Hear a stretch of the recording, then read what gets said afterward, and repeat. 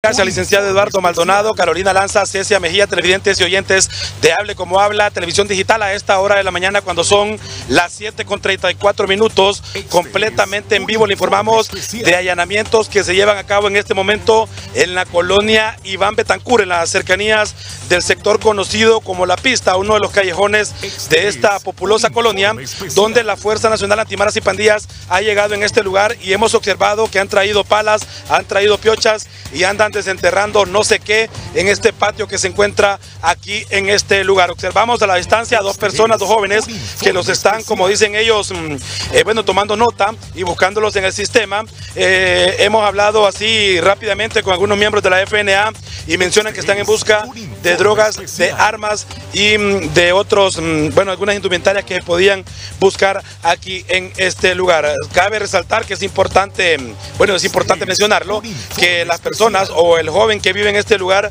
ya ha estado detenido, supuestamente según la FNA por droga. Así que estamos a la espera de si hay resultados o no aquí en este lugar, en la colonia Iván Betancourt, que bueno, podríamos decir que queda enfrente de la posta nueva de Comayagua salida a San Pedro Sula. Pendientes de resultados, compañeros.